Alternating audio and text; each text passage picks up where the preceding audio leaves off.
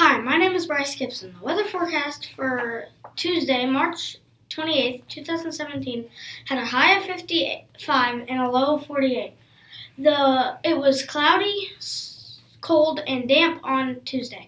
Wednesday, March 29th, 2017, had a high of 57 and a low of 42. On Wednesday, it was raining all off and on. off and on all day. Thursday, March 30th, 2017, had a high of 51 and a low of 48. It was raining in the early mornings on Thursday. Friday, March 31st, 2017, had a high of 52 and a low of 40. Saturday, April 1st, 2017, had a high of 52 and a low 43. Sunday, April 2nd, 2017, had a high of 64 and a low of 50. Monday, April 3rd, 2017, had a high of 60 and a low of 50. That's the weather forecast. Hi guys, we have another we have a guest today here on Talk to Talk. Welcome Ellie Doherty. Thank you for having me. We're glad to have you.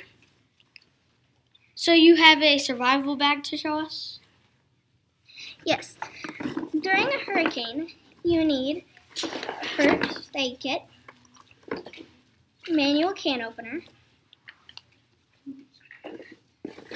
canned food, dog food if you have a dog or a pet, phone, phone charger, medicine, one gallon of water for every for each person, flashlight,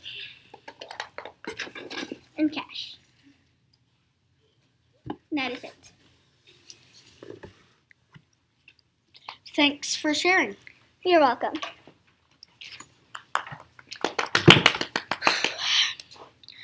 Hi guys, we're we're still here and we have another guest, Natalie Lewis. So you're here to show us something? Yes, I am. Today I have a hurricane model, and how you make the model is you get a bowl and you put water in it and you stir it until it can spin by itself. And you put soap in it as well.